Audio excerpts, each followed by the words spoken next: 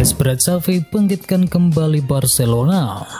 Pelatih Barcelona Xavi Hernandez punya tugas berat untuk mengembalikan semangat bertanding tim asuhannya setelah hasil pahit beberapa pertandingan. Alhasil peluang Barcelona meraih gelar tersisa di musim ini yakni gelar Liga sangatlah tipis. Barcelona saat ini berada di peringkat kedua dengan koleksi 65 poin. Mereka tertinggal 18 angka dari Real Madrid di puncak klasemen dengan 7 laga yang tersisa. Manchester City dilaporkan bakal beli klub Brasil seharga 2 triliun rupiah.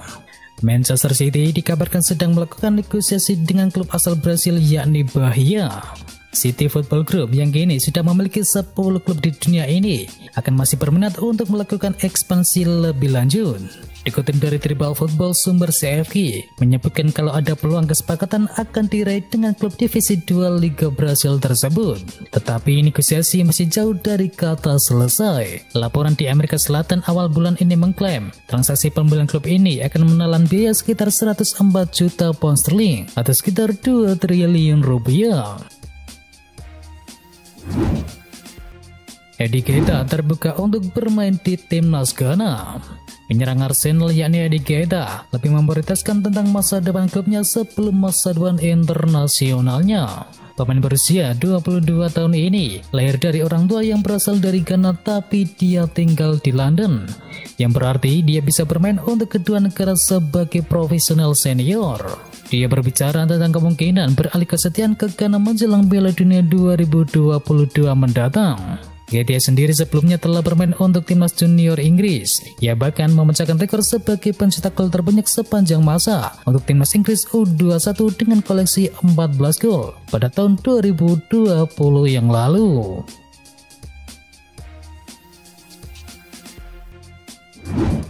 Enam menit Hannibal Matchri dibanjiri banyak pujian. Masuknya match memang tak banyak mengubah situasi untuk Manchester United. Gol keempat Liverpool bahkan berasal dari kesalahan umpan pemain asal Irak tersebut. Meski demikian, semangat tak kenal takut match berduel dengan para pemain Liverpool membuat Gary Neville ikut berkomentar. Ia menilai semangat inilah yang seharusnya ditunjukkan oleh para pemain Manchester United lainnya di laga kontra Liverpool tersebut. Ia bahkan berani melanggar dengan keras kapten Liverpool yakni Jordan Henderson. Hannibal Matchri mendapatkan pujian setelah berani berduel dengan para pemain Liverpool. Para pemain Manchester United seharusnya bermain seperti match di laga itu. Gelandang Newcastle United sesumbar klubnya akan menyamai level PSG dan juga Man City. Gelandang Newcastle United yakni John Joseph berbicara tentang ambisi klubnya terutama sejak klub tersebut berganti kepemilikan. Kini The Magpies dimiliki oleh konsorsium yang dipimpin oleh Arab Saudi, dan manajemen pun langsung bermanuver banyak di bursa transfer Januari kemarin. Pada Januari 2020 yang lalu, Newcastle United sibuk berbelanja. Mereka diketahui mengeluarkan dana lebih dari 90 juta pound sterling klub ini akan menjadi sangat besar. Saya berbicara tentang PSG dan juga Man City. Jika Estel bisa naik level top itu akan memakan waktu dan kami hanya perlu bersabar. Yang saya inginkan hanyalah menjadi bagian dari proses tersebut. Kata pesepak bola 30 tahun itu. Sejak Selfie percaya dengan dukungan dana yang melimpah, jika Estel United ke depannya akan menyamai level dari PSG maupun dari Manchester City.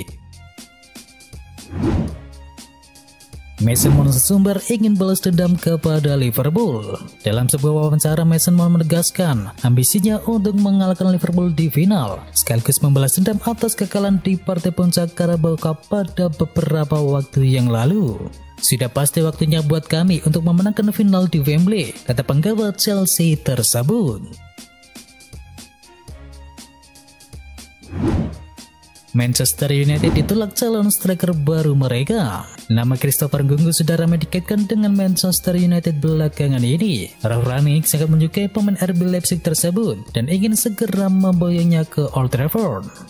Dilansir dari Bill, Manchester United harus melupakan rencana mereka untuk mendapatkan Gunggu karena sang striker dilaporkan kurang tertarik untuk pindah ke Setan Merah. Menurut laporan tersebut, Kungu sebenarnya tertarik untuk pindah menuju Inggris. Namun sayangnya, ia punya pertimbangan yang lain. Ia ingin klub yang ia bilang nanti harus bermain di ajang Liga Champion. Masalahnya Manchester United saat ini kecil kemungkinan untuk lolos menuju UCL di musim mendatang. Citinggunggu juga pindah menuju Manchester United di musim panas nanti. Arsenal permalukan Chelsea 4-2 di Stamford Bridge. Chelsea menelan tiga kekalahan beruntun di kandangnya sendiri setelah dipermalukan Arsenal 2-4. Dua gol dari Eddie Guetta, Smith Rowe dan juga Bukayo Saka cukup mengakhiri tiga kekalahan beruntun Arsenal di ajang Liga Premier Inggris. Hasil ini membuat Chelsea tertahan di peringkat tiga klasemen, sementara Arsenal menyamakan poin mereka dengan Tottenham di peringkat kelima dengan sama-sama mengoleksi 57 poin. Sehingga ini membuka peluang The Gunners untuk bisa lolos ke Liga Champions pada musim mendatang. Taklukkan proyek dan Manchester City kembali ke puncak klasemen Liga Premier Inggris. Manchester City kembali ke puncak Liga Premier Inggris usai kalahkan Brighton dengan skor akhir 3-0. Riyad Mahrez memecahkan kebuntuan di menit ke-52, dilanjutkan oleh gol dari Phil Foden dan juga Bernardo Silva. Tiga poin dari The Seagulls ini membuat Manchester City mengoleksi 77 poin, sementara Liverpool yang sehari sebelumnya di puncak klasemen kini mengumpulkan 76 poin. Kalahkan Crystal Palace Newcastle United catat 6 kemenangan beruntun di kandang mereka.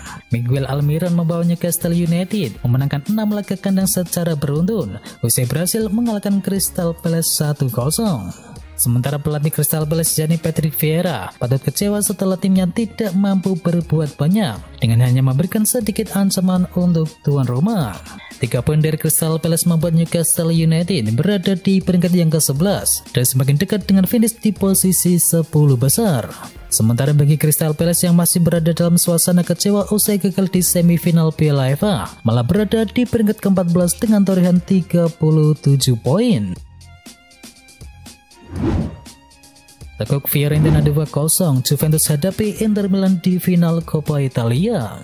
Juventus akan menghadapi Inter Milan di final Coppa Italia di Roma pada tanggal 11 Mei 2022 mendatang.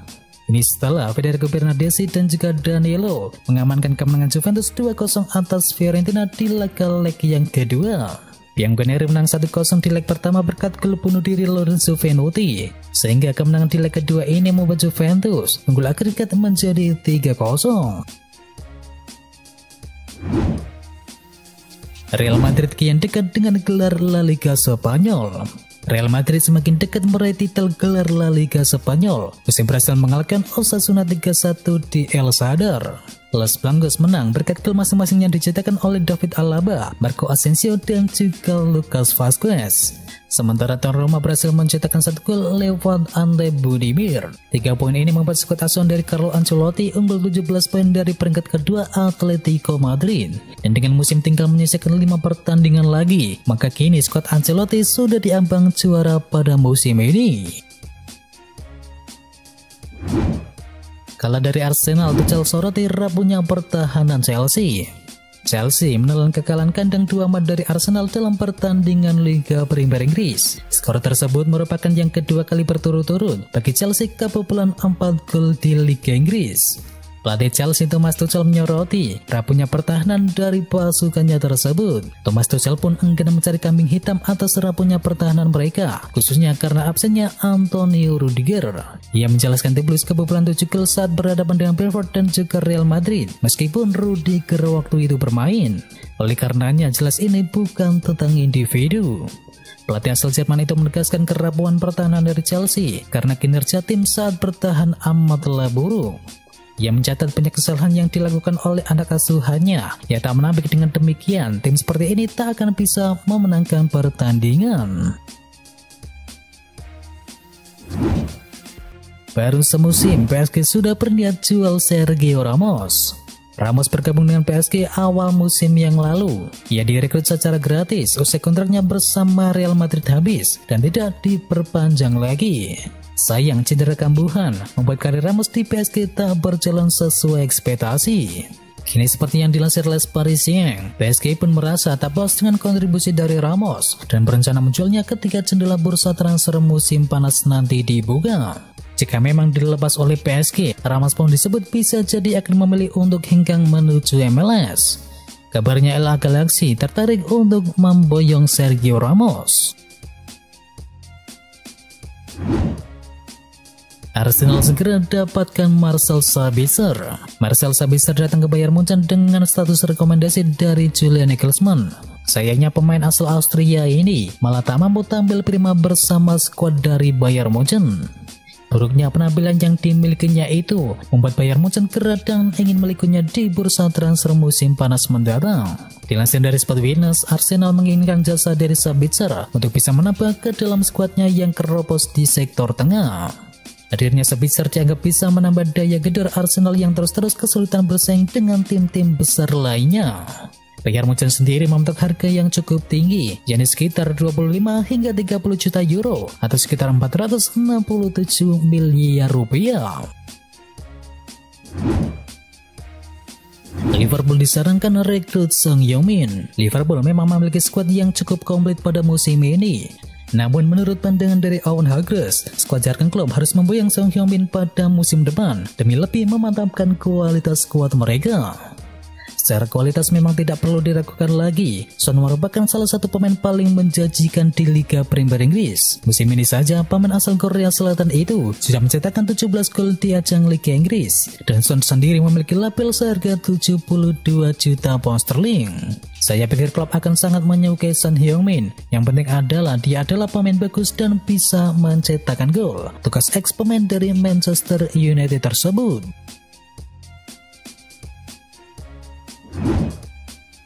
Resmi Erik Ten Hag latih Manchester United. Manchester United secara resmi mengumumkan Erik Ten Hag sebagai pelatih untuk musim mendatang. Ten Hag mendapatkan kontrak selama 3 tahun. Ia akan mulai bekerja usai akhir musim ini dan akan berakhir pada Juni 2025 mendatang dengan opsi perpanjangan. Ten Hag akan menjadi suksesor bagi Ralf Rangnick yang akan turun dari jabatannya pada akhir musim mendatang. Dan itu adalah informasi bola hari ini. Jangan lupa bagi kamu pencinta Manchester United untuk bisa mampir dulu ke channel KKMU Berita Manchester United hari ini. Atau juga bagi kamu yang suka dengerin cerita horor, bisa juga kunjungi channel kami yakni Jumat Kliwon. Semua ada di kolom deskripsi, jangan lupa untuk di subscribe ya sob. Itu adalah berita bola kali ini. Jangan lupa kunjungi channel kami lainnya. Untuk linknya ada di kolom deskripsi.